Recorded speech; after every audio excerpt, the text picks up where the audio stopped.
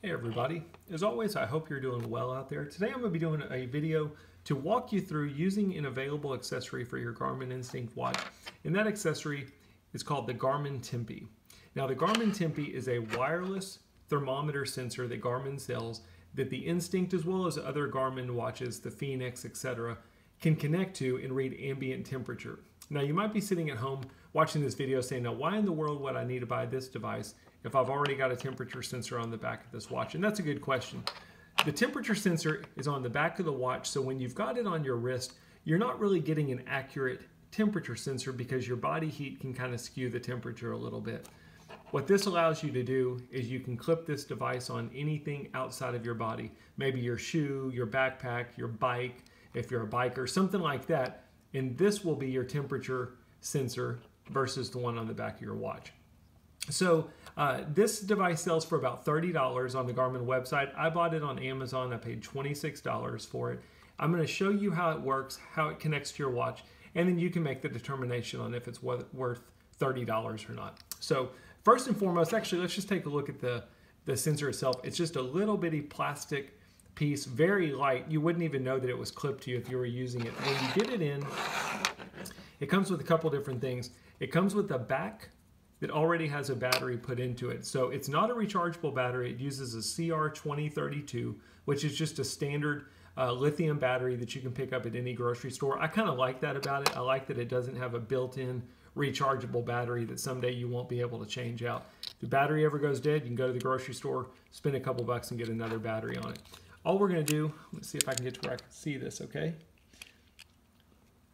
You just clip the battery onto the back of the watch and then you can twist it to take it off if you ever needed to replace it.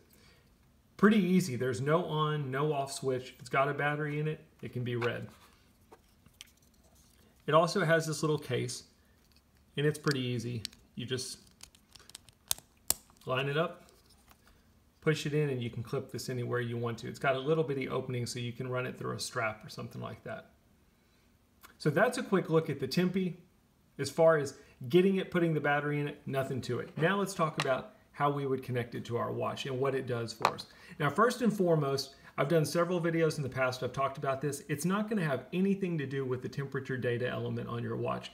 This data element for temperature is always gonna come from your cell phone or a weather station.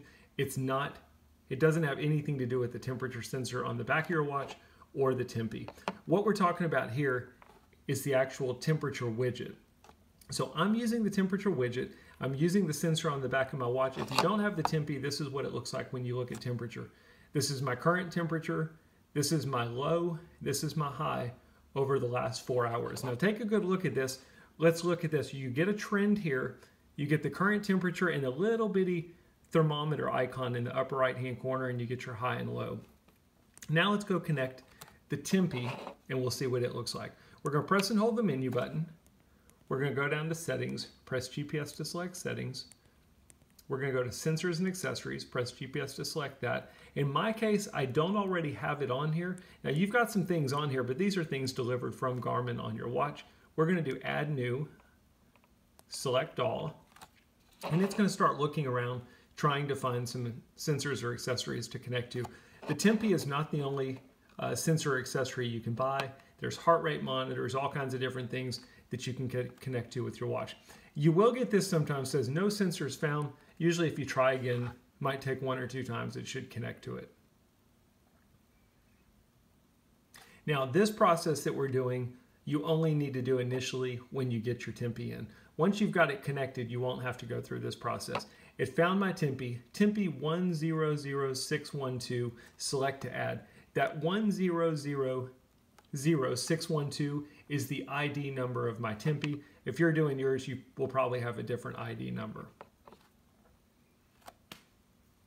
So now it's currently connecting it.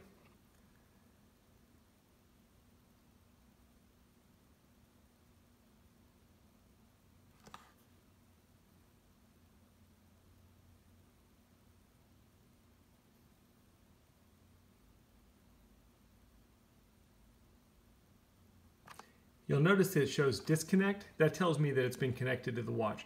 We can go in here, we can see the status, it's connected.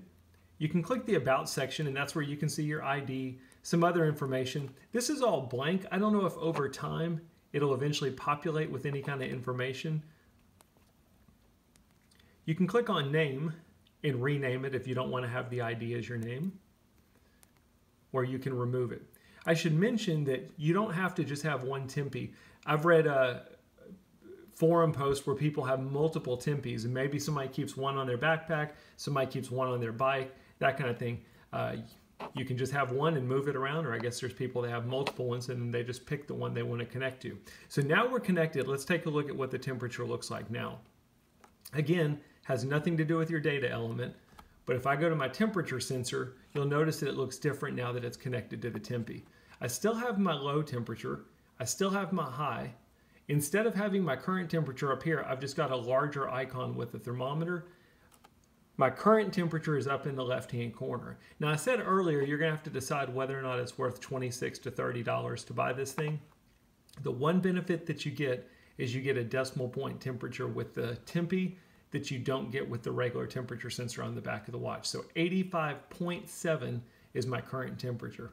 That's one of the big disappointments I have with the Garmin Instinct watch is for the cost of it, you would think you would get a decimal point temperature. I can go buy a $75 Casio ProTrek and I'll get a decimal point temperature. But with the Garmin, if I want it, I have to buy an expensive Garmin Instinct watch plus a $30 Tempe to get that.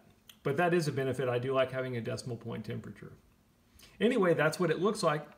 If you decide you don't want to use it, now that it's connected, all you'd have to do is press and hold the menu button, go down to settings, Go again to sensors and accessories, go to your Tempe, and you can simply just disconnect it. It's still on your watch and it's still connected, but now it's just a toggle of whether you want it on or whether you want it off. So I've turned it off. If I go back to my temperature sensor, I'm back to using the temperature sensor on the back of the watch. Pretty easy. And again, if you wanted to turn it on, all you do is go back through the same navigation, flip it back to on. Kind of a cool gadget. Is it worth $30? I'm gonna leave that up to you. I guess for some people it's gonna be. For some people they're gonna say, nah, this, this one on the back of the watch is fine for me. If nothing else, I hope it gives you an idea of how this uh, device works and uh, how you can connect it to your Garmin Instinct watch. As always, I hope the video helps. If you've got any questions, post them in the comments. I'd be happy to help you out. Thanks for watching.